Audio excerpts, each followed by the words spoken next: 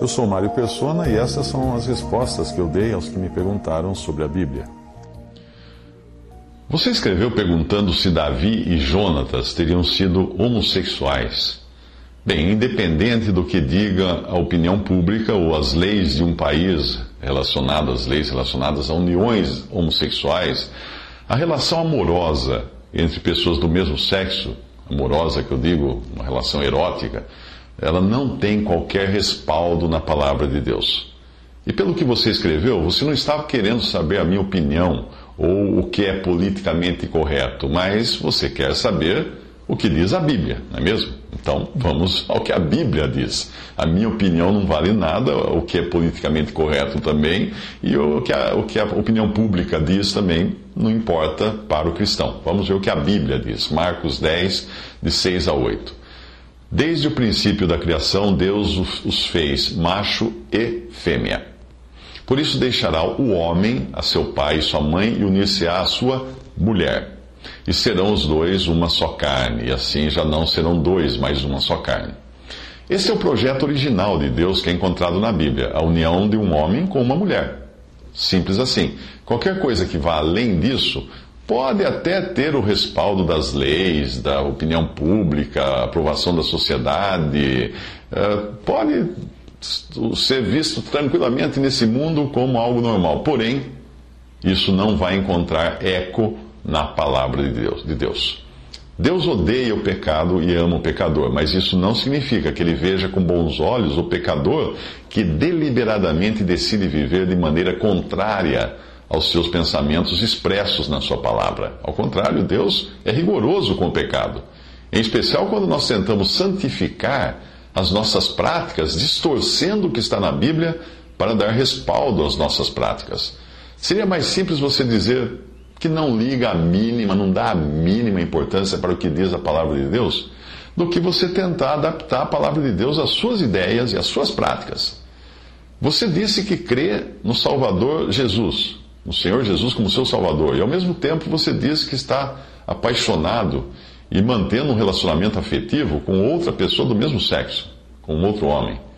Será possível conciliar, conciliar a sua fé com essa prática, segundo a Bíblia? Você está tentando fazer isso, mas não é possível. Ananias e Safira, tentando parecer piedosos e generosos aos olhos de Deus e dos irmãos, mentiram ao Espírito Santo e foram mortos apesar de suas almas terem sido salvas. Eu acredito que eles tenham sido salvos. Mas eles foram mortos aqui, porque eles não serviam mais como testemunho de Deus na terra. A palavra de Deus diz que nós não devemos orar por alguém em pecado que é para a morte. E pecado para a morte não é pecado para a morte da alma, perdição eterna. Não, é para a morte do corpo. Quando o Filho de Deus já não serve para ser um testemunho neste mundo, Deus pode decidir levá-lo embora, simplesmente assim. Eu não estou tentando incutir em você algum tipo de pavor, mas eu quero deixar claro o que a Bíblia diz. E isso e, ela, e não pode, ah, o que a Bíblia diz não pode ser diluído por nosso sentimentalismo. Ah, a, a responsabilidade de quem crê em Cristo, de quem professa crer em Cristo, é grande, não é brincadeira. Quando nós cremos em Jesus, nós recebemos uma nova vida que provém de Deus. Nós não somos deixados neste mundo para cuidar dos nossos próprios interesses, mas somos deixados aqui para cuidar dos interesses daquele que morreu para nos salvar. Cristo está agora no céu, intercedendo pelos que são seus, que estão aqui. E os seus que estão aqui, no mundo, estão aqui testemunhando por Cristo, testemunhando de Cristo, que está no céu. Testemunhar, crer em Cristo, significa também andar de forma coerente com a sua vontade que é expressa na Bíblia.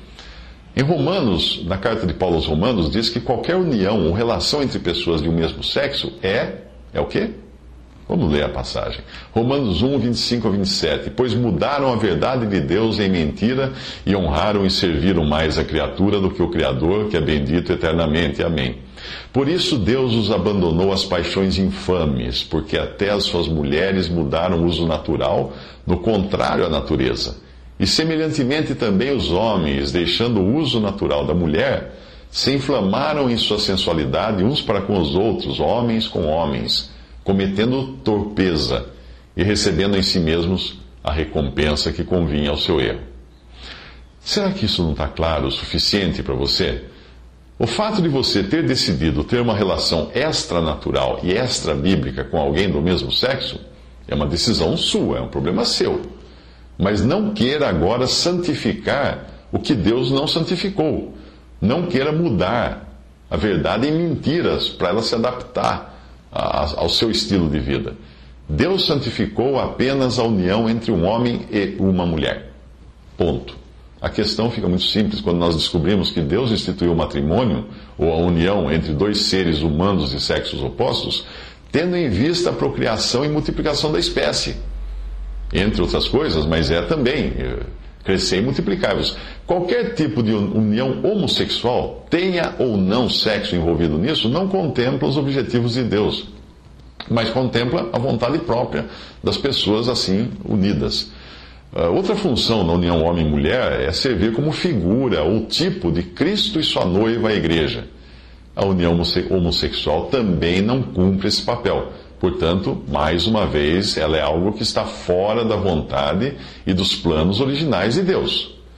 Agora, quanto à sua pergunta da amizade entre Davi e Jonatas, que você enfatizou como se fosse uma base para esse relacionamento que você tem, tem tido com seu parceiro, é um engano pensar que o amor entre Davi e Jonas, e Jonatas uh, tivesse algo de homossexual, como alguns querem, querem mostrar.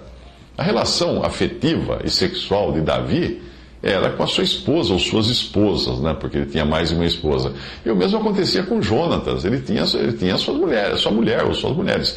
É importante lembrar que a poligamia também nunca foi plano de Deus. Portanto, os homens, mesmo os personagens bíblicos que praticavam poligamia, estavam também incorrendo no erro.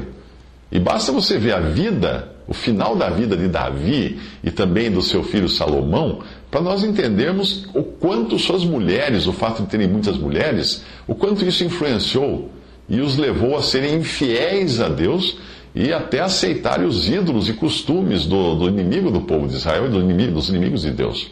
A relação de amizade entre Davi e Jonatas era muito forte. Mas eles, eles estavam ali, os dois homens, cumprindo o papel que Deus, que Deus deu aos homens e se relacionando com suas respectivas esposas, tendo filhos, etc. Se Davi tinha preferência por homens, como explicar o fato dele ter tido oito mulheres, além das concubinas? Hum? O verbo amar, usado em 1 Samuel 18,1, não tem qualquer conotação sexual.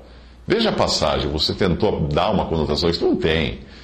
Ali diz que sucedeu que, acabando ele de falar com Saul, a alma de Jonatas se ligou com a alma de Davi, e Jonatas o amou como a sua própria alma. Assim Davi veio a Saul e esteve perante ele, e o amou muito, e foi o seu pajem de armas, diz outra passagem, Samuel, 1 Samuel 16, 21. Veja, Davi também fala que Davi amou Saul. Agora você vai falar que Davi tinha uma relação homossexual com Saul? 1 Reis, capítulo 5, versículo 1, enviou Irão, rei de Tiro, os seus servos a Salomão, porque ouvira que ungiram a Salomão rei em lugar de seu pai, porquanto Irão sempre tinha amado a Davi. Pronto, na sua interpretação, na óptica que você utiliza para interpretar a Bíblia, Davi também tinha outro amante, Irão. Será que nós devemos deduzir que Davi tinha também relação homossexual com Saul e com Irão, rei de Tiro? 2 Samuel 1,26 Angustiado estou por ti, meu, irmão Jonatas. Quão amabilíssimo me eras, mais maravilhoso me era o teu amor do que o amor das mulheres. Essa é outra passagem, 2 Samuel 1,26. Essa passagem não diz que Davi amava mais Jonatas do que as suas mulheres. Mas ele percebia uma amabilidade tão grande da parte de Jonatas que essa se traduzia como um amor maior do que o, o que Davi percebia nas suas mulheres. E não é difícil entender isso, se nós considerarmos apenas a atitude de Mical, que era uma das mulheres de Davi. Veja o que ela fez em 2 Samuel 6,16. E sucedeu que, entrando a arca do Senhor na cidade de Davi, Mical, a filha de Saul, estava olhando pela janela e vendo o rei Davi, que ia bailando e saltando diante do Senhor, o desprezou no seu coração. E voltando Davi para abençoar sua casa, Mical, a filha de Saul, saiu a encontrar-se com Davi e disse: Quão honrado foi o rei de Israel, descobrindo-se hoje aos olhos das servas e seus servos, como sem pejo se descobre qualquer dos vadios. qualquer um com uma mulher assim consideraria maior a amabilidade demonstrada por um bom amigo do que aquela demonstrada pela própria mulher. Quantos você conhece que, que passam por isso? Mais uma vez, eu chamo a sua atenção para o fato de, de que Davi não diz amar Jonatas. Ele não fala que ele amava Jonatas mais do que as mulheres, mas ele considerava a amabilidade de Jonatas para com, consigo, com Davi, maior do que o amor das mulheres. É tudo uma questão de percepção. Jonatas havia sido fiel a Davi e se opusera até mesmo contra o próprio pai. Nada de errado um homem dizer que foi tratado por outro com uma amabilidade que excede aquela demonstrada por uma mulher. Mas isso não faz dele um homossexual e nem implica em segundas intenções. Você que está com. Eh, você enxerga tudo de um ponto de vista homossexual. Tem um ditado que fala que para o martelo tudo tem cara de prego. Você encontrará muitos que, no meio de guerras, doenças ou situações difíceis, encontraram num amigo, num irmão, num pai ou num filho, um amor que excedia o amor das mulheres. Mas isso não tem nada a ver com sexo, com homossexualismo. É triste ver como essa ideia homossexual de amor destrói as afeições mais puras entre pessoas do mesmo sexo, como é o amor entre amigos, o amor entre irmãos, o amor entre pais e filhos. Você diz que crê na Bíblia, portanto você tem uma responsabilidade para com Deus.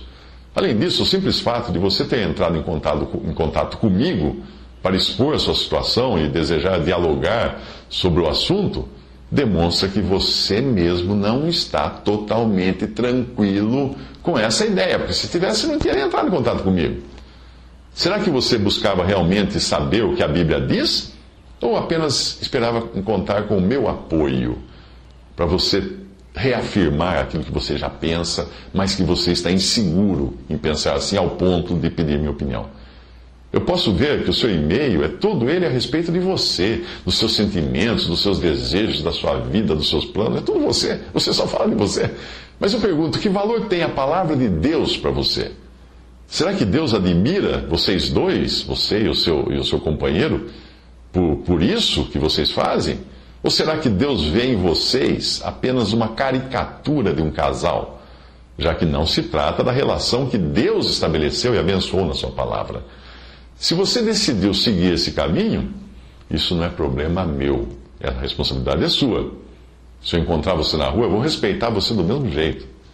Mas, por favor, não queira usar a Bíblia e a amizade entre Davi e Jonatas como pretexto para justificar a sua própria vontade. Alguém que uh, alguém que, depois que eu publiquei esse texto de resposta a essa pessoa, alguém me escreveu argumentando que o fato de Davi e Jonatas trocarem beijos denunciava um relacionamento homossexual. Ai. A minha resposta foi a seguinte: lá ele fala, ele cita esse versículo de 1 Samuel 20, 41. Depois que o menino se foi, Davi saiu do lado sul da pedra, inclinou-se três vezes perante Jonatas, com o rosto no chão. Então despediram-se, beijando um ao outro e chorando. Davi chorou ainda mais do que Jonatas. Esta é a passagem da Bíblia. Eu não sei o quanto da Bíblia você conhece, mas se você ler atentamente, verá que o beijo sempre foi uma prova de amor e de afeto, independente do gênero, do sexo da pessoa. É preciso distorcer o texto para enxergar qualquer coisa no beijo entre Davi e Jonatas, além de amizade e afeição. Alguém, alguém com esse, esse tipo de mentalidade vai acabar achando que os beijos entre pais e filhos na Bíblia sejam prova de incesto, então. Ah, veja só, pai e filho se beijando, eles também faziam sexo. Vai, vai achar que os beijos praticados entre homens seja, seja homossexualismo sempre. E o beijo entre as mulheres? Ah, isso é lesbianismo.